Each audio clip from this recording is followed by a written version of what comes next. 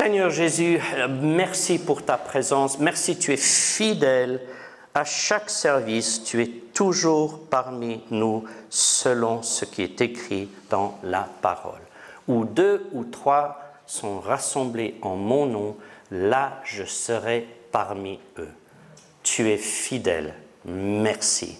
Merci pour cette présence qui est ici, maintenant, là. Tu es vivant tu es là maintenant et nous voulons te demander de nous parler par ta parole, par cette bouche qui est la mienne, Seigneur. Parle à nous tous selon nos besoins.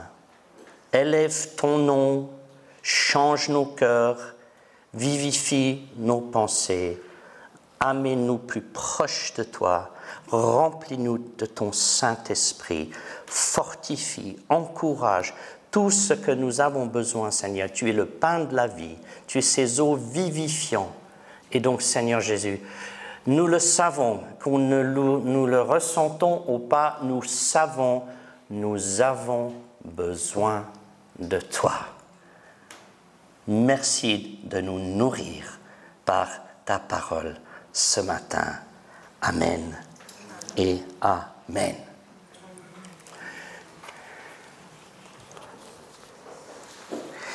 Luc chapitre 6 et verset 46 va être notre euh, verset clé pour ce matin.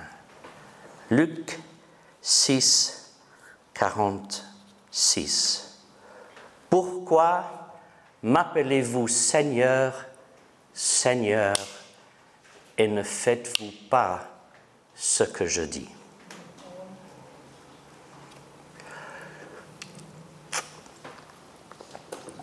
Pourquoi m'appelez-vous Seigneur et ne faites-vous pas ce que je dis?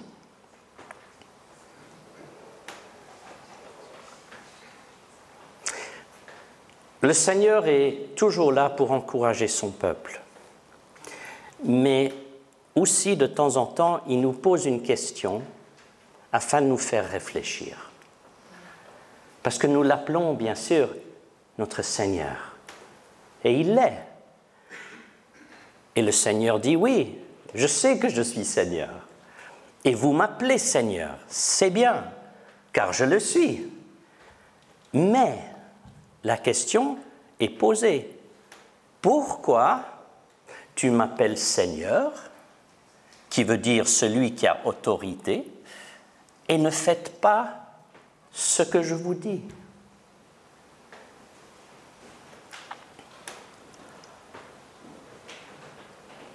Pourquoi je me permets d'appeler mon Seigneur Jésus, mon roi, mon Dieu, Seigneur, et je ne fais pas ce qu'il me demande. Je reconnais qui il est, je reconnais sa position, je reconnais son autorité. Mais alors, pourquoi est-ce que je ne fais pas ce qu'il me demande? Maintenant, nous pourrions aller dans une longue euh, analyse théologique par rapport à euh, la manière que nous sommes des, âmes déchues de nature, euh, qu'il a le péché en nous à notre naissance, etc. etc. Mais je, parle aujourd'hui à moi et à vous en tant que fils et filles régénérés, si on peut le dire comme ça, nés de nouveau, qui avons reçu la puissance de Dieu, qui connaissent le Seigneur, qui connaît sa parole. Parce que on se rappelle, quand le Seigneur dit Vous ne faites pas ce que je vous dis, il se réfère à quelque chose qui s'appelle sa parole. Sa parole. Certaines personnes pourraient dire ah, ben, je ne fais pas toujours ce qu'il me demande parce que je ne sais pas ce qui est dans sa parole. C'est euh, un bon raisonnement, mais ça ne va pas aller bien loin, parce que le Seigneur nous met en garde que, que vous lisez sa parole ou non, lui, il va agir selon cette parole. Dans notre vie et aussi au jugement où nous nous tenions devant lui, c'est cette parole qu'il va utiliser. Donc nous ne pouvons pas plaidre l'ignorance comme euh, dans la vie tous les jours. Vous ne pouvez pas euh, euh, aller contre la loi en Suisse et griller un feu rouge et que vous dites aux gendarmes, mais je ne savais pas que c'était contre la loi. Il a dit, ben, je m'en fiche que vous le saviez ou non, voici votre amende. Donc, à nous de savoir ce que dit cette parole. Pourquoi m'appelles-tu Seigneur? Nous allons avoir un euh, service de communion ce matin et je vais lire maintenant le... On peut garder cette parole, s'il vous plaît. J'aimerais qu'elle reste devant nous. Merci. Nous allons lire euh, une parole pour introduire notre euh, communion. Et comme je dis, hein, laissez cette parole, Luc 6, 46, et on va euh, lire Hébreu 10, de 11 à 25. Entendez bien la parole. Tout sacrificateur se tient à son poste chaque jour. Ce n'est pas des sacrificateurs dans l'Ancien Testament pour faire son service et offrir souvent les mêmes sacrifices qui ne peuvent jamais ôter les péchés. Entendez bien que les sacrifices dans l'Ancien Testament ne pouvaient pas ôter les péchés. Ils étaient couverts, mais ils n'étaient pas enlevés. Mais lui, parlant de Jésus, après avoir présenté un seul sacrifice pour les péchés, s'est assis à perpétuité à la droite de Dieu. Sachez que ce, ce, terme à la droite de Dieu ne parle pas de quelque chose qui est physique, car Dieu est esprit. Ce mention à la droite de Dieu parle de, la place de puissance et de la place de honneur. Euh, donc on parle souvent de le bras droit de l'Éternel dans l'Ancien Testament, parle de la puissance de Dieu. Hein, donc, euh, sachez que ce n'est pas euh, physique, c'est une place qui est donnée pour honorer le Seigneur Jésus ce qui, tout ce qu'il a fait. Et, verset 13, et il attend désormais que ses ennemis deviennent son marchepied, car par une seule offrande, il a rendu parfait à perpétuité ceux qui sont sanctifiés. Entendez cette parole. elle est incroyable. Par une seule offrande, c'est-à-dire son corps, il a rendu parfait à perpétuité ceux qui sont appelés et sanctifiés. L'offrande de Jésus-Christ sur la croix suffit pour tout, pour tout temps et à jamais. C'était parfait. C'était parfait. Il n'avait rien à rajouter. C'était une œuvre parfaite. Quand Jésus l'a dit, c'est fini, ça voulait dire aussi, c'est accompli. Qu'est-ce qui était accompli? Ceci. Par une seule offrande, il a rendu parfait à perpétuité ceux qui sont appelés et sanctifiés. C'est merveilleux. Ce que Jésus-Christ a fait sur la croix est suffisant pour toujours concernant votre personne et votre salut. C'est merveilleux. C'est merveilleux de savoir qu'on n'a pas besoin de rajouter. Beaucoup de chrétiens pensent que quelque part, ils doivent rajouter à ce que Dieu a fait en faisant ci, en faisant ça. Non, on peut se reposer dans ce salut qui est parfait. Se reposer dedans. Une fois qu'on se repose, ensuite on fait des choses parce qu'il l'a fait pour nous. Mais les œuvres et les bonnes œuvres qu'on essaye de faire, on fait parce qu'on est sauvé, pas pour être sauvé. Dieu, nous avons la paix avec Dieu, Dieu est notre ami, pas parce qu'on a fait des bonnes choses, on a fait du bien, mais parce qu'on a cru dans le Fils unique de Dieu. Voilà pourquoi c'est un salut parfait. On va sauter maintenant à 23. Confessons notre espérance sans fléchir, car celui qui a fait la promesse est fidèle. Veillons les uns sur les autres. Vous entendez? Veillons les uns sur les autres. On est censé à veiller, pas être indifférent. On est censé à mettre notre nez dans les affaires des autres, si on peut le dire comme ça, gentiment bien sûr. Hein? En, Suisse, euh, je parlais avec euh, le pasteur Raphaël, donc euh, celui qui tient son assemblée les dimanches soirs ici, et il est brésilien. Et il a dit, ben, au Brésil, la, porte est toujours ouverte, on, rentre quand on veut chez, un ami. On, parle de tout avec un ami. Il a dit, ici en Suisse, il faut faire un rendez-vous. pour tout. Et souvent, les gens disent ah, Ouais, écoute, je ne peux pas te voir ce mois-ci, peut-être le mois prochain. Mon agenda est rempli.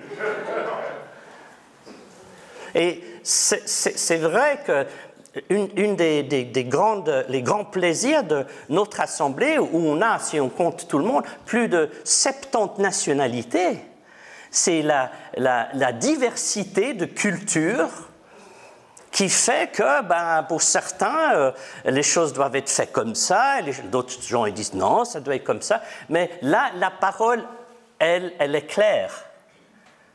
Et c'est ça que moi je parle souvent de, du culture du royaume. Vous avez votre culture, vous avez vos traditions, c'est très bien. Mais ensuite, il a la culture du royaume. Et la culture du royaume nous dit ceci. Veillons les uns sur les autres pour nous inciter à l'amour et aux œuvres qui sont bonnes. Voilà. Ce n'est pas une suggestion. Et euh, euh, je, me réjouis que maintenant, avec Léna, nous avons, nous avons trouvé notre appartement euh, à 5-6 minutes d'ici et on a décidé d'avoir porte ouverte chez nous, mais pas après minuit. Et pas toujours les mêmes personnes, Jess.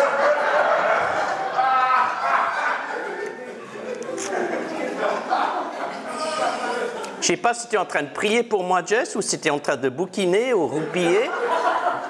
Non hein? Veillez l'un sur l'autre. Soyez intéressés dans vos frères et vos sœurs. Mais faites attention en même temps, hein, parce qu'il y en a qui s'intéressent et ils viennent euh, avec la baguette du sergent-major et puis ils sont là pour vous dire euh, ce qu'il faut faire. Non, on s'intéresse. C'est dit ici, euh, inciter à l'amour, pas inciter à tu dois ci, tu dois ça, fais ci, fais ça. Inciter à l'amour. Hein? Soyons encourageants, encourageons-nous, prenons du temps pour être intéressé dans la vie. Vous savez, s'il a une chose en Suisse, et, vous pouvez demander à, toute personne qui vient, surtout dans les organisations internationales, non, je ne sais pas,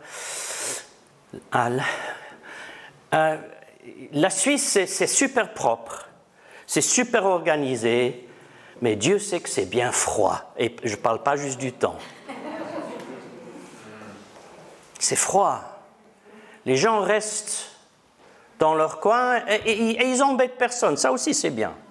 Ils, ils embêtent personne. Mais nous devons faire attention de ne pas rentrer dans la culture suisse si elle va à l'encontre de la culture qu'on trouve dans la parole de Dieu. Amen. C'est ce qu'on trouve dans la parole qui est la culture du royaume de Dieu. Amen, amen. Veillons les uns sur les autres pour nous inciter à l'amour et aux œuvres bonnes. Verset 25. N'abandonnons pas notre assemblée, comme c'est le coutume de quelques-uns, mais exhortons-nous mutuellement, et cela autant plus que vous voyez le jour du Seigneur s'approcher. Vous voyez Il faut avoir un lieu où on peut être ensemble. Dieu veut que son peuple se réunisse dans la maison de Dieu.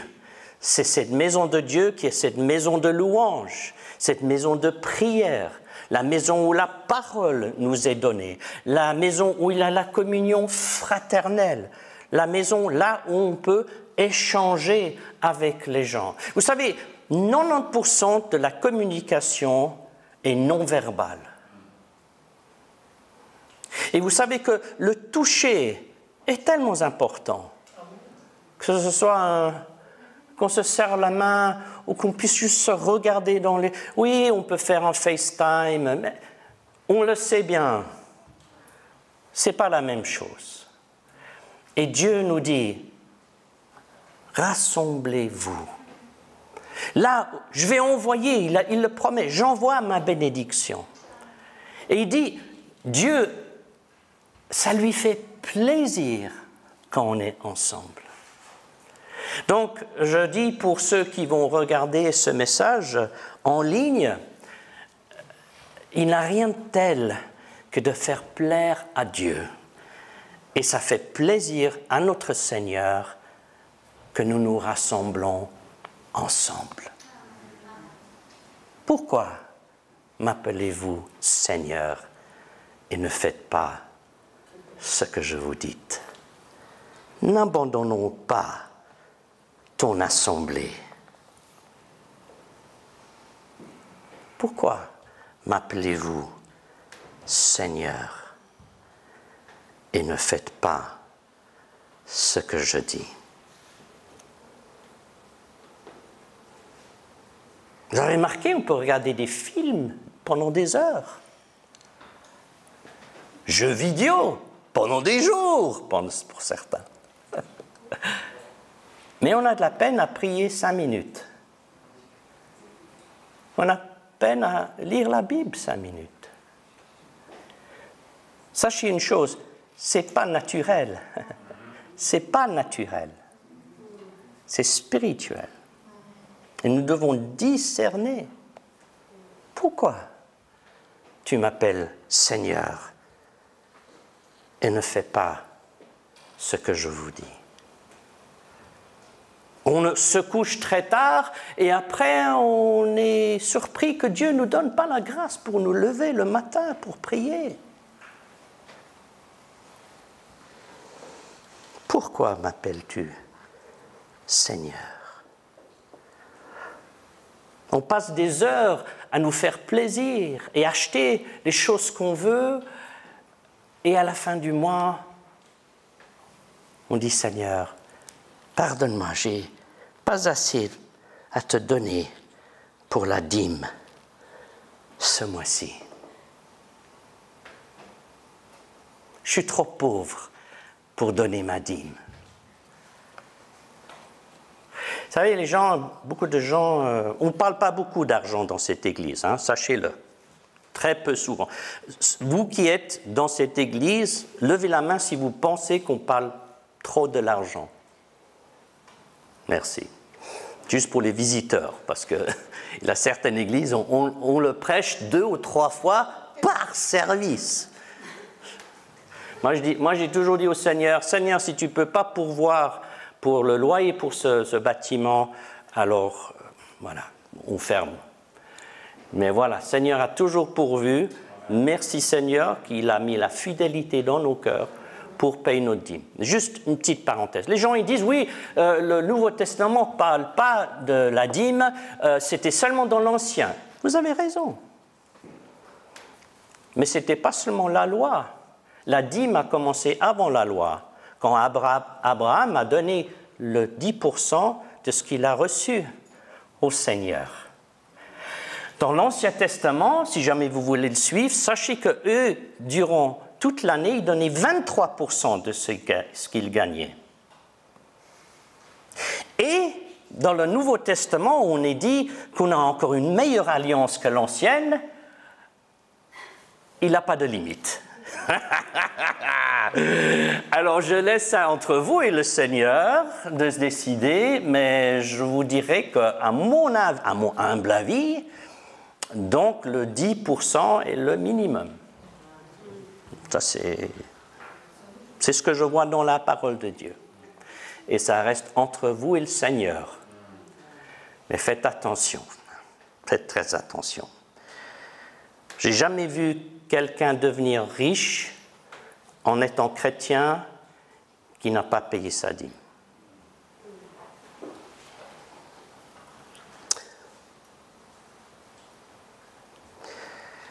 Pourquoi m'appelez-vous Seigneur et ne faites pas ce que je vous dis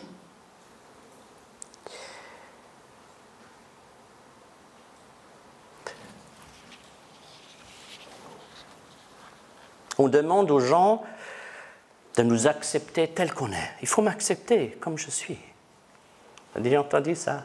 Je suis comme je suis. Il faut m'accepter. Amen, je dis. Amen. Mais, oh, oh attention On ne peut pas accepter les autres comme ils sont. Vous avez déjà remarqué, il y a des gens qui sont toujours en train de réclamer, il faut, il faut juste m'accepter comme je suis. Mais quand c'est leur tour, Dieu sait qu'ils ont de la peine. Avec quelle mesure vous mesurez, il sera mesuré à vous, a dit le Seigneur.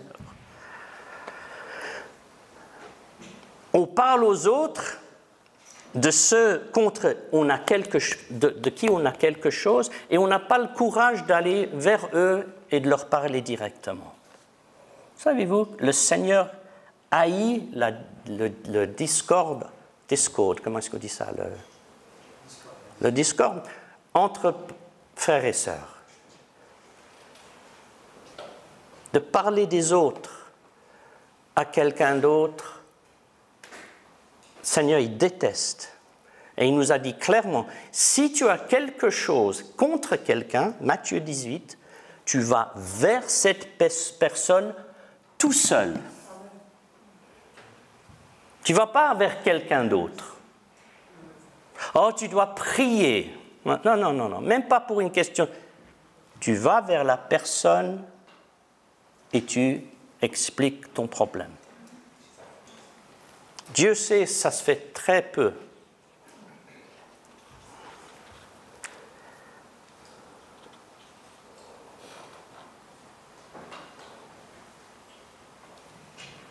Certains d'entre nous, on a des vêtements qu'on n'a pas portés pendant des années et jamais on pense à donner ces vêtements à ceux qui n'en ont pas. Est-ce pas ce que le Seigneur ferait?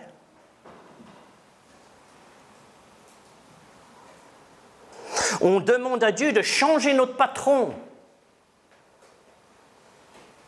mais pas nous changer nous. Change son cœur. Non, je vais changer ton cœur. Je vais changer ton cœur. Seigneur, élève-moi là dans mon organisation afin que je puisse briller pour toi. Et le plus que le Seigneur t'élève, le moins que tu brilles. Parce que j'ai plus de responsabilités, parce que mon salaire est plus grand, alors je risque de perdre bien plus. Pourquoi m'appelez-vous Seigneur, Seigneur, et ne faites pas ce je vous dis.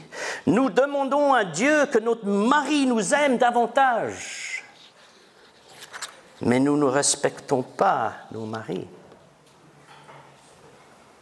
On va sauter celui des hommes.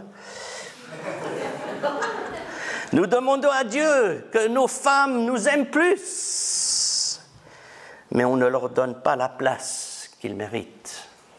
La place de notre femme, c'est la deuxième place après le Seigneur. On demande à Dieu de réussir nos examens et on prend zéro temps pour lire sa parole, qui est son livre d'instruction pour la vie. On aime les choses dans ce monde et on est surpris que le royaume de Dieu ne nous dit pas grand-chose. On se gave de drogue ou bien d'alcool et on demande à Dieu pourquoi la vie n'est pas claire pour nous.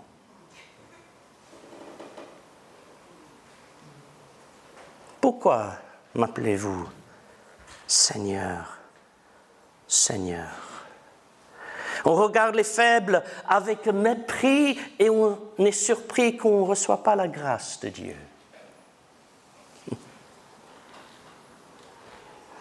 On donne peu d'importance à la famille de Dieu et on se demande pourquoi je suis seul.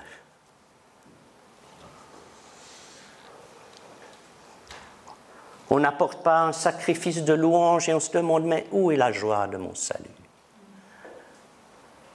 Pourquoi? M'appelez-vous Seigneur Seigneur et ne faites pas ce que je vous dis. On ne prie pas et on se demande pourquoi Dieu semble être si loin.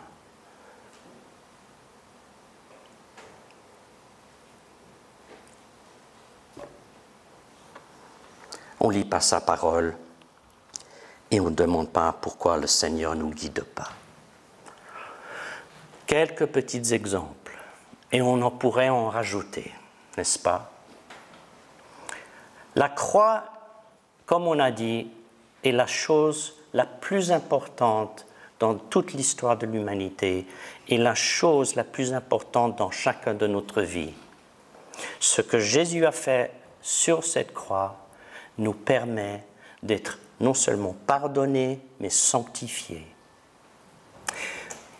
Mais la question est la suivante. Si Jésus il a payé un tel prix, si ça lui a coûté tellement cher et qu'on aime le Seigneur, pourquoi est-ce qu'on continue à faire des choses qu'on sait qu'on ne devrait pas? Et pourquoi est-ce qu'on ne fait pas les choses qu'on sait qu'on devrait faire? Si j'avais un miroir, je me regarderais moi-même. Pourquoi? Vous savez, la Bible elle dit c'est la bonté de Dieu qui nous conduit la repentance. Et vous savez, quand on, quand on demande pardon à Dieu, quand notre conscience est touchée, quand Peut-être vous l'avez jamais fait, mais moi je l'ai fait quand vous pleurez devant le Seigneur et vous dites Seigneur, je suis vraiment désolé, pardonne-moi. C'est une grâce de Dieu. Est-ce que vous le savez? C'est une grâce de Dieu de dire pardonne-moi Seigneur. C'est une grâce de Dieu de se mettre en ordre avec le Seigneur. C'est la bonté de Dieu qui vous permet d'avoir une conscience, qui vous permet à dire pardon et qui permet au Seigneur de pardonner. Amen. Rappelez-vous la, femme qui était euh, prise dans le péché, dans l'adultère. Rappelez-vous ce qui s'est passé. Le Seigneur a dit, celui qui est sans péché, qui lance la première pierre. Qu'est-ce qui s'est passé ensuite? Personne n'a lancé une pierre. Et le Seigneur, il a dit à cette femme, Femme, où sont vos accusateurs Ils ne sont pas là, Seigneur. Et qu'est-ce qu'a dit Jésus Moi non plus, je ne t'accuse pas. N'est-ce pas merveilleux que le Seigneur dit la même chose à nous? Moi, je ne t'accuse pas. Il a un qui nous accuse, et on sait qui c'est. Mais le Seigneur Jésus ne nous accuse pas. Jamais. Mais on oublie ce qu'il a dit ensuite à la femme. Pars et ne pêche plus. ne pêche plus. Jésus est prêt à tout pardonner. Mais il a un message qui se rajoute. Moi non plus, je ne t'accuse pas. Va et ne pêche plus. C'est notre appel. Ce n'est pas d'être juste pardonné, c'est aussi d'être changé, sanctifié. Et nous avons tous des choses dans notre vie, nous le savons, que Dieu nous a bien montré, ça, ça doit changer. Pourquoi m'appelles-tu Seigneur, Seigneur, et ne fais pas ce que je te demande? Est-ce que vous savez que Jésus aime les cochons et aime les chiens?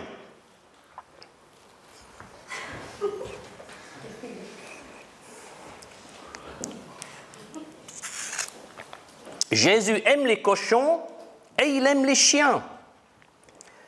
Mais il ne veut pas qu'on vit comme un chien ou qu'un cochon. Va et ne pêche plus, et dans la Bible dit autrement, c'est ne sois pas comme le chien qui retourne à son vomi pour le manger. Vous avez déjà vu un chien manger Moi, j'avais un chien à un moment donné, quand il je, n'arrive, je, le donne, non, tu ne peux pas.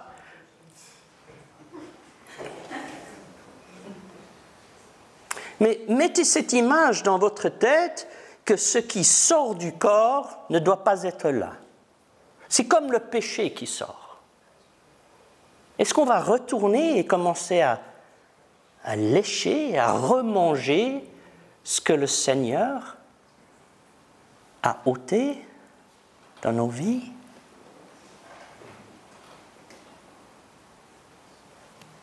Ou comme le cochon, il est aussi dit que, voilà, bien lavé, qu'est-ce qu'il fait? Ben, Il se roule dans la boue. Nous qui étions lavés, et Dieu sait, c'est merveilleux, la promesse, n'est-ce pas? La, promesse que si nous venons au Seigneur, hein, il est fidèle pour faire quoi? Pour nous pardonner de nos péchés et de nous laver de toute iniquité. C'est merveilleux. On est pardonné et lavé. Mais si après avoir été pardonné et lavé, on se roule dans la boue à nouveau, pourquoi est-ce que vous m'appelez Seigneur, Seigneur, et ne faites pas ce que je vous dis Quelque part, il doit avoir un problème. D'un côté, j'aime le Seigneur, mais je ne l'aime pas assez. Quelque part, je veux faire le bien, mais je ne le fais pas. Quelque part, je veux faire le bien, mais ce bien, je ne le fais pas.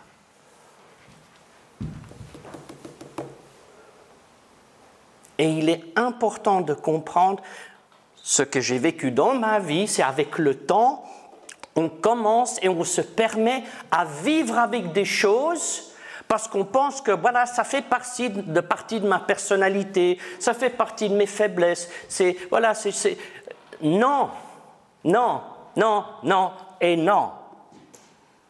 Ça, c'est un mensonge. Jésus veut que toute notre vie soit en ordre avec lui. Toute notre vie, tous les domaines.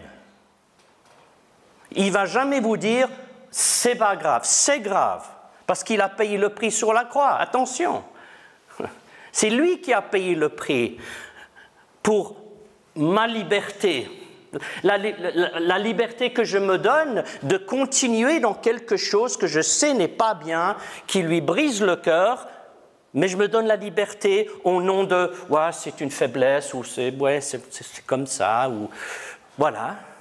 Non, on ne peut pas. Nous devons nous faire violence. Moi, je ne veux pas être un chien et je ne veux pas être un cochon. Je ne veux pas vivre comme eux. Moi, je veux vivre comme l'aigle ou le lion.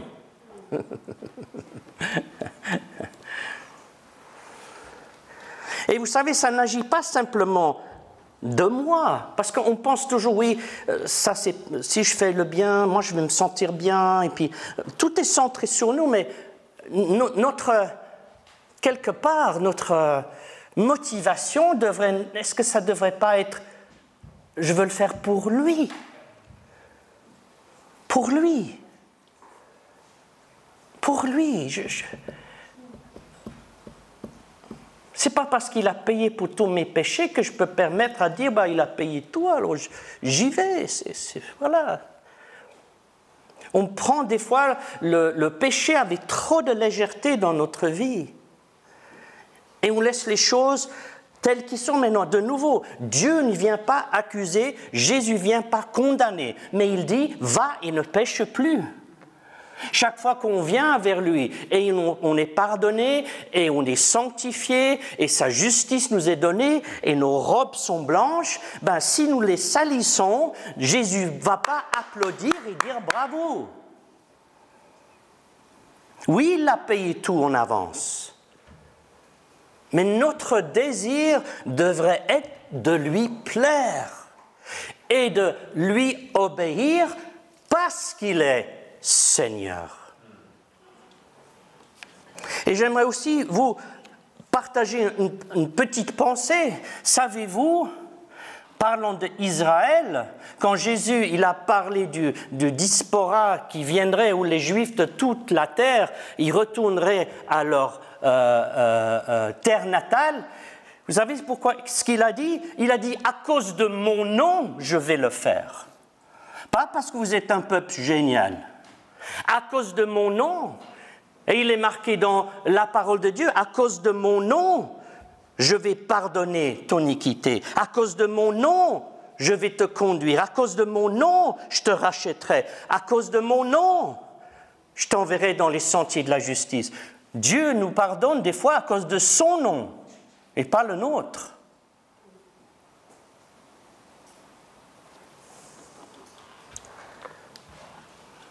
Donc nous allons prendre maintenant la, communion, on va lire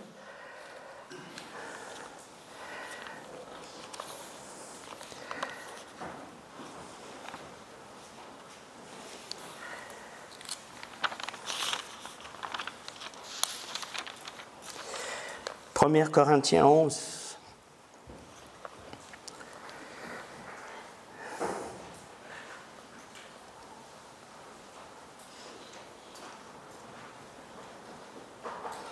Verset 23, car moi j'ai reçu du Seigneur ce que je vous ai transmis. Le Seigneur Jésus, dans la nuit où il fut livré, prit du pain, et après avoir rendu grâce, il rompit et dit, Ceci est mon corps, qui est pour vous. Faites ceci en mémoire de moi. De même, après avoir soupé, il prit la coupe et il dit, Cette coupe est la nouvelle alliance en mon sang. Faites ceci en mémoire de moi toutes les fois que vous en boirez. Le sang pardonne, ce corps brisé guérit. Et nous sommes bénis, nous sommes privilégiés de pouvoir ce matin prendre ce pain et boire, c'est un privilège. C'est un privilège. Et j'aimerais vous, rappeler huit points. L'échange à la croix. Écoutez bien. Tout ce qui était dû à Jésus, nous l'avons reçu. Et tout ce qui était dû à nous, Jésus l'a pris sur lui-même. Jésus a été puni pour que nous soyons pardonnés. Jésus a été blessé pour que nous soyons guéris. Jésus a été fait péché par notre péché afin que nous soyons rendus justes par sa justice. Jésus a goûté à la mort afin que nous puissions partager sa vie. Jésus est devenu une malédiction afin que nous puissions recevoir la bénédiction. Jésus a enduré une pauvre vie afin que nous puissions avoir une vie en abondance. Jésus a porté notre honte afin qu'il puisse partager avec nous sa gloire. Jésus a enduré mon rejet afin que je sois accepté par le Père. Cet échange sur cette croix a été fait pour nous. Nous allons manger et boire maintenant. Le pain parle du corps. C'est un corps qui était rompu. On va avoir un moment de réflexion après. Mais ce que je vais essayer de vous faire comprendre, c'est pendant que vous mâchez ce pain,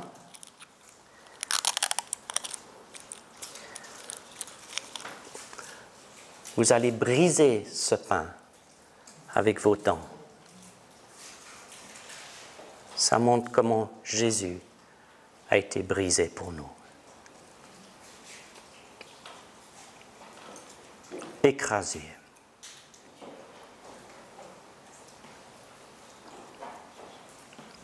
Son corps lapidé,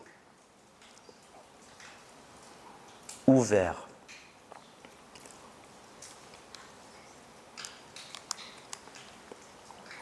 et par ses meurtrissures, nous sommes guéris. Et ensuite, ce sang, le sang qui est la vie, il a versé jusqu'à sa mort pour nous.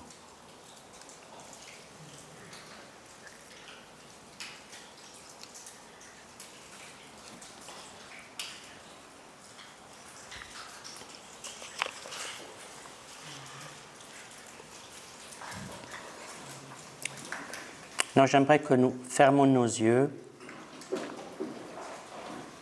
Je vais partager encore quelques pensées. Et ensuite, j'aimerais que nous prenions du temps pour écouter ce que le Seigneur a à nous dire. Les motivations que Jésus a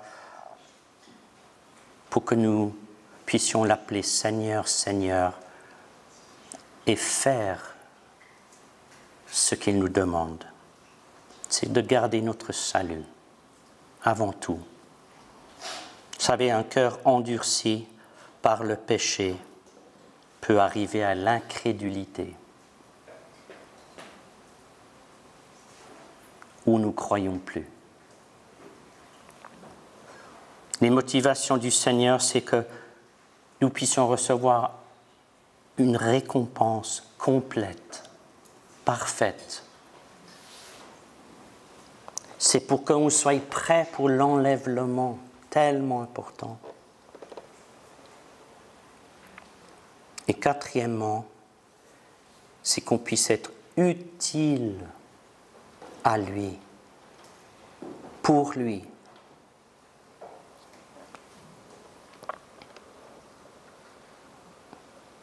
Jésus t'aime trop pour te laisser continuer dans le péché. Je répète, Jésus t'aime de trop pour te laisser continuer dans le péché. Il faut qu'on craint cet amour. C'est un amour tellement ardent, il ne peut pas nous laisser dans l'état dans lequel nous sommes et continuer à faire les choses que nous faisons ou ne pas faire les choses que nous devons impérativement faire. C'est un amour sans compromis. C'est un amour, nous dit, qui est plus fort que la mort. Et il, il est bien dit dans la parole, il châtira ceux qu'il aime. J'aimerais que nous nous mettons en garde ce matin que Dieu n'aime pas châtir, mais par son grand amour pour nous, il le fera. J'avais une image d'un étalon. Vous savez ce que c'est un étalon? C'est un, cheval dans la liberté, libre, fort. Et un étalon doit être brisé pour qu'il soit utile. Jésus va te briser s'il le doit.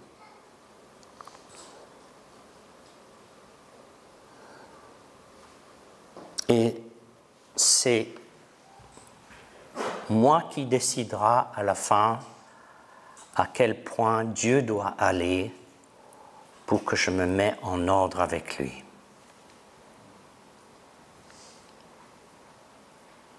Mais je pense qu'il a des moments dans nos vies où le Seigneur dit, OK, maintenant, stop, stop. Voilà. On ne peut plus continuer comme ça. Je ne peux plus te faire croire que ce que tu vis, ce que tu fais, la manière tu vis pour moi ou non, me plaît. Je dois agir. Et c'est là où nous avons maintenant la possibilité de nous rendre pendant qu'il a encore la paix, pendant qu'il n'a pas point de châtiment, ou on fait rien et tout d'un coup, voilà, il a un combat qui commence et Dieu doit nous enlever des choses pour avoir notre attention.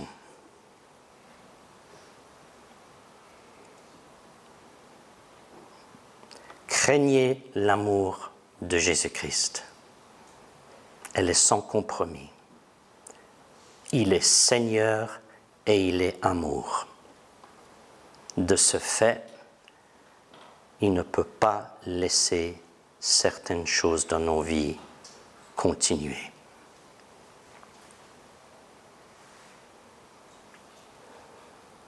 Laissons maintenant la place au Seigneur pour nous parler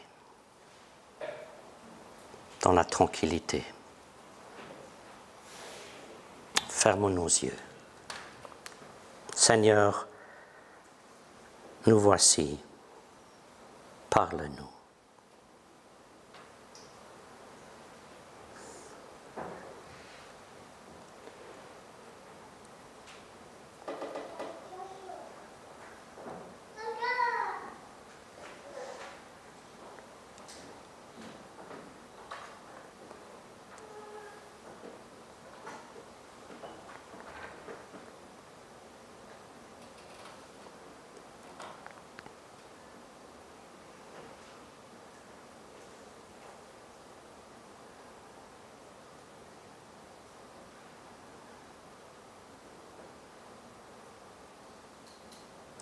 Vivifie nos consciences, Seigneur.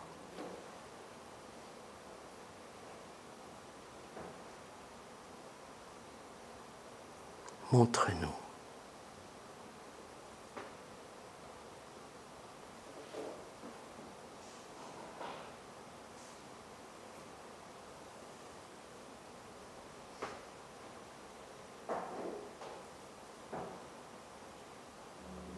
Seigneur, nous voulons te demander pardon. Pas de musique.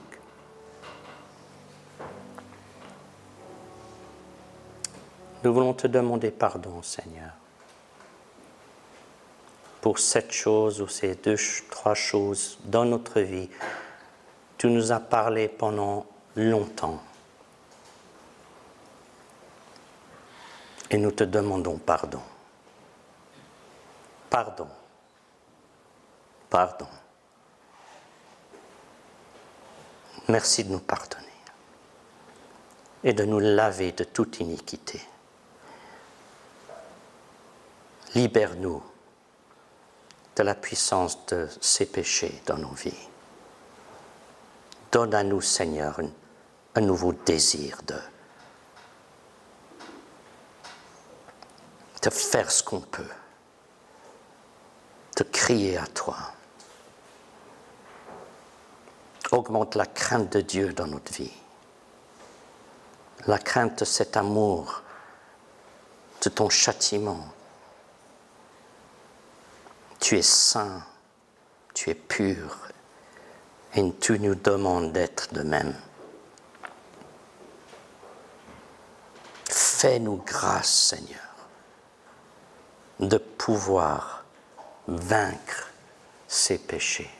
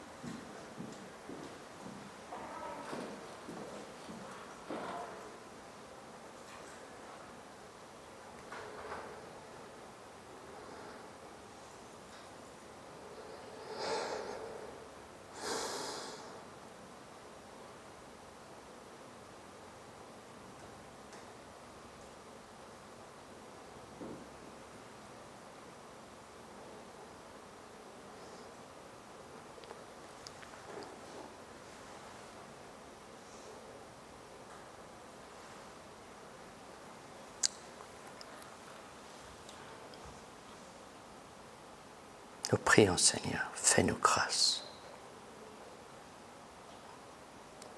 à vaincre ces choses dans nos vies qui te déplaisent, afin que nous puissions t'appeler Seigneur et faire ce que tu nous dis. Dans le nom de Jésus-Christ nous te le demandons. Et on te remercie. Là où le péché abonde, la grâce surabonde. Dieu fera le nécessaire.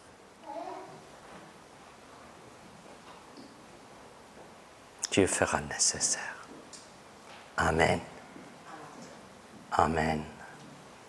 Et Amen. Que Dieu vous bénisse. N'oubliez pas ce que le Seigneur vous a montré. Soyez pas complaisants. Jeûnez si vous devez. Priez. Et soyez mis en garde si nous ne prenons pas au sérieux ce que Dieu nous a montré. Dieu va agir pour avoir notre attention. Donc, Dieu va changer nos cœurs, mais nous devons venir à lui.